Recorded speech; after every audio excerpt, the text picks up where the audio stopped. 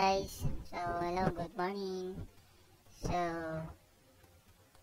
meron akong ituturo sa inyo about tutorial na at least man lang marunong yung iba mag-download kahit yung iba dyan merong PC or internet, hindi pa rin sila marunong mag-download ng mga movies. So, dito guys, walang paligoy-ligoy dito sa akin ituturo ko sa inyo kung paano mag-download ng mga movies na mga bago or mga old movies using uTorrent.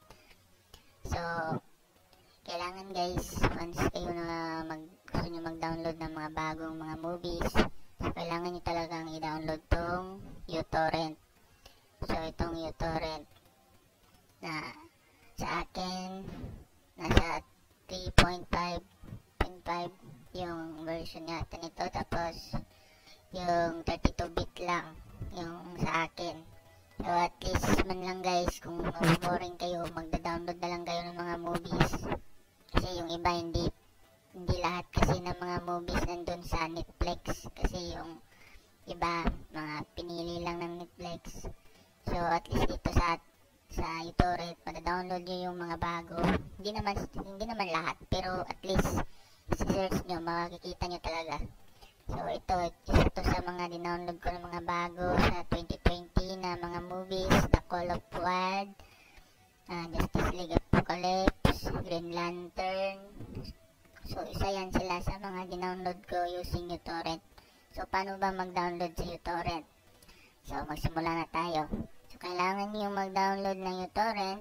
Pag na-download nyo yan, install nyo, punta kayo sa Google Chrome. So, mag-login kayo, mag-search kayo sa sa The Pirate Bay. Ito yung sikreto. The Pirate Bay. thepiratebay.org So, basta makapasok na kayo sa The Pirate Bay, ito yung ito yung tulay na para makita nyo yung mga movies na gusto nyo para makapasok kayo pag ma-download nyo na papasok yun sa torrent para makuha niyo, niyo yung mga gusto nyong mga movie. So, ganito yung nalabas. So, nalabas na tong ganito, minsan hindi ganito. Sa akin, nakalagi na kasi ito eh. Pag first ka pa talaga, ito yung nalabas sa, sa gitna, ito dito. Tapos itong search na column, nandito yan sa gitna. So, akin naka, naka, set na kasi ito eh. So, ganito. Mag-download kayo sample. Ito nyo itatype. The, uh, Pokemon. Pokemon. So, Pokemon, search nyo, pirate. Search.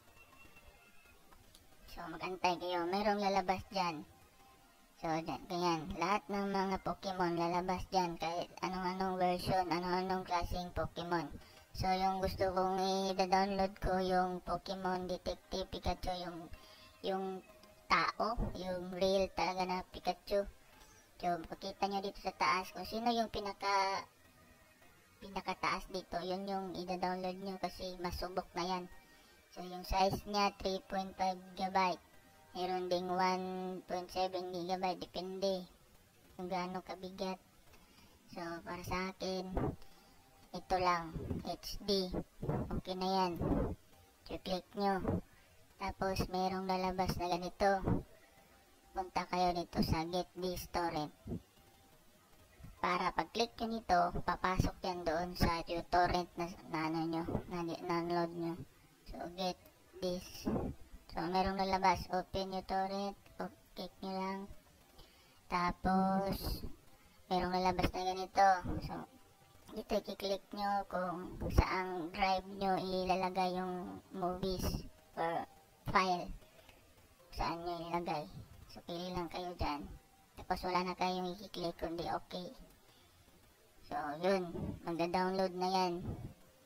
Tingnan nyo. Magantay na lang kayo kung anong ilang minuto yung i-download nya actually mabilis din mabilis lang naman.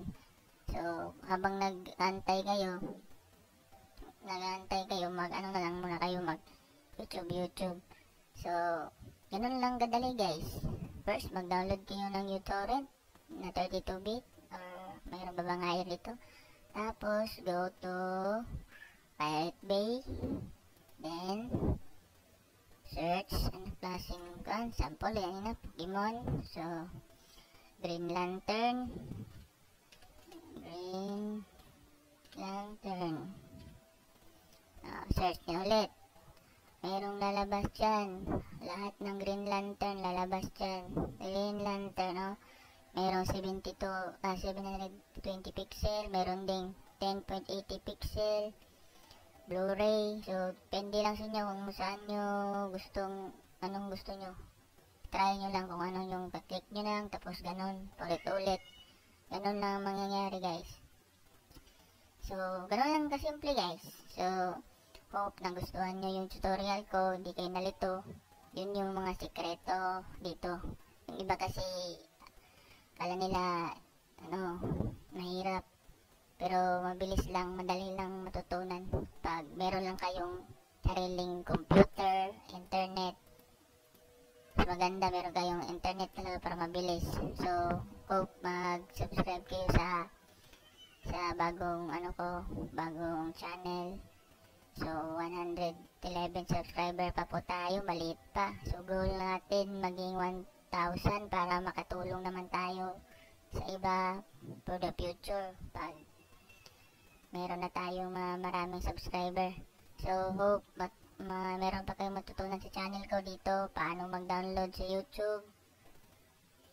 Direct power director tutorial. Meron din dyan. Tapos meron din Filmora 9 basic tutorial Actually, yung ano ko, channel, madami ang mga videos so iba't iba kasi mix yan, mix yung ano ko, content ko. Hindi isa lang, hindi isang content lang. So, hope meron kayong magtunan dyan sa mga videos ko dyan or ma makitang mga ideas. So, hope guys mag-subscribe kayo sa channel and God bless po. Salamat. Thank you.